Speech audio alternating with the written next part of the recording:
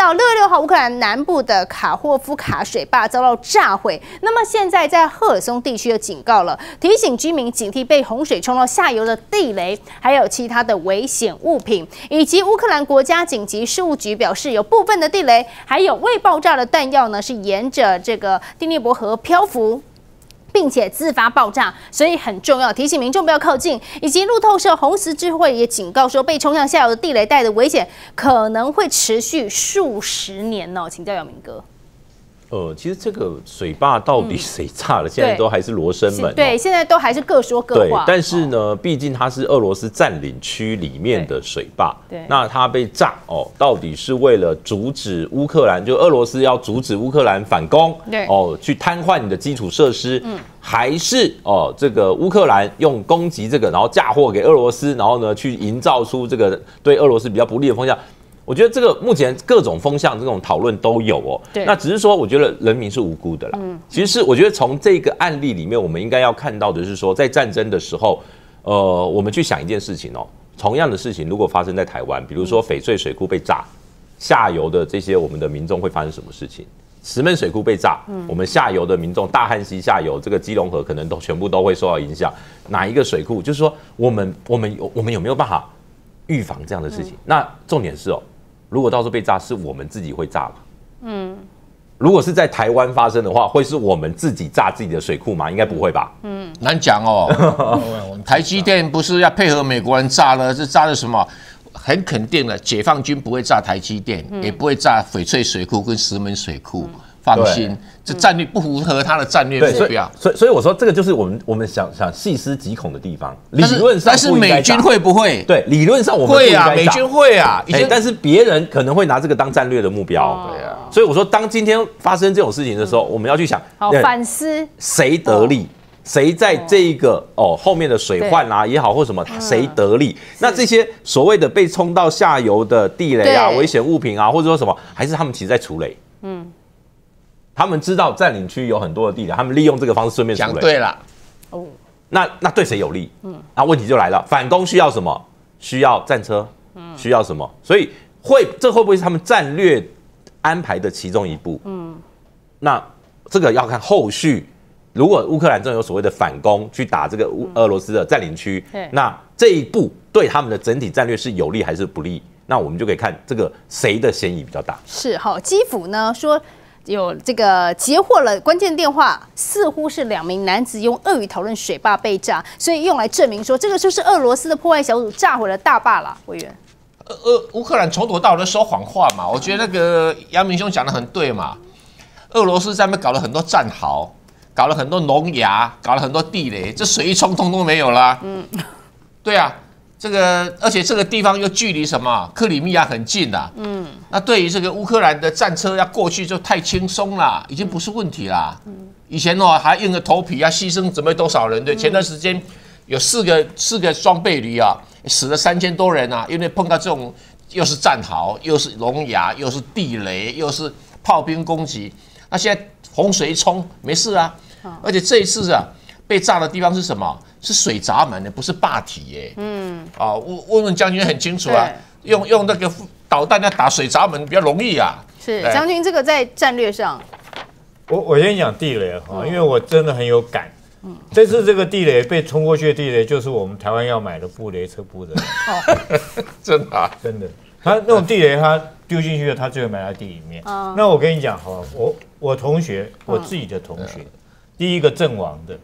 为国阵亡的，就是在金门踩到地雷。哦他为什么踩到地雷呢？就是跟这次完全一样。那个那个，我我们有布雷图嘛？哪边有雷，哪边没雷。按理说，我们应该自己布的雷都知道。但因为海水涨潮退潮以后，那雷就飘走了。那我们会过去去那边海边，他不知道那个雷已经飘过来，已经踩上去就没了。跟这个一样啊，毕业不到飘到海边去了。所以这个真的是我们台湾自己要不要买布雷车？这是我自己我自己的同学，然后亲自在金门就看到那个雷被潮水飘动，所以我们不知道布雷雷布在什么地方。对，那这很感慨了，就是我们台湾自己要不要过这种日子？另外，我刚刚跟杨明讲，我说哈，如果说台湾当然石门水库跟这个翡翠水库不会被炸，但是我们自己会放水。嗯嗯，对。为什么呢？因为如果说共军在林口台地空降下来的话，他攻进台北，他一定要过淡水河嘛。对，那你就是把放水下去以后，对，他从这个这个林口海滩登陆上来他，要过淡水河就放水。所以我就放水，然后让水变宽，对不对？你过不了河，增加你渡河的困难度难度。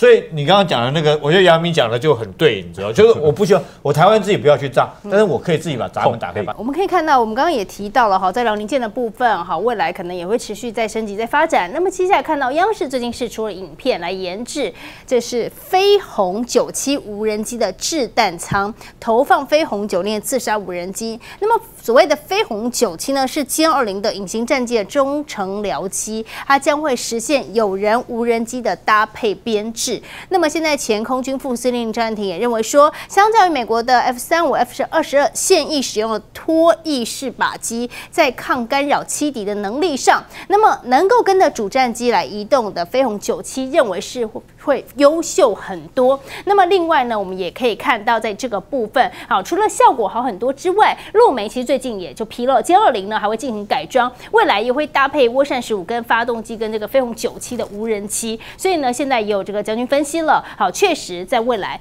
有人无人机的搭载编制上会更加的灵活。请教将我。先说明一下，呃，这个所谓隐形战机在战场上的一个功能，它主要扮演的角色是一种踹门者的角色，也就是说，几次不管是波湾战争或干嘛，美军他们一开始就先无人机进去，无人机进去，因为它雷达侦测不到它，它在空中的话，它就把你这些雷达站打掉，打掉之后，后续紧接着就是它大批的这个战斗机或者是轰炸机进来。那现在这种，诶，歼二十它它发展的这个飞鸿九七哈，我觉得像是踹门者在前面的那种，呃，钥匙一样，它可以飞在，它是两，呃，歼二十一定，呃，飞这种无人机一定是中程僚机一定是双座型的，嗯，前面那个飞行员他飞的是自己本身的歼二十，后面那个飞行员飞的就是飞鸿九七这种无人机，它可以飞在这个歼二十前面，也就是说，一旦它在前面来讲的话，它本身也是无人机哦，飞鸿九十也也也是无人机哦。它如果说没有发现到它，它歼二十有人机在后面，它就很安全，它跟在它后面飞是就很安全。但如果说一旦它被雷达锁定发现之后，其实它自己本身就可以发射反辐射飞弹。什么叫反辐射飞弹呢？就是说雷达锁定你之后，我收到你的雷达波以后，我发射一个飞弹，顺着你的雷达波打打下来，把你这个打我的飞弹的雷达打掉，这叫反辐射。它专门追踪雷达波打的。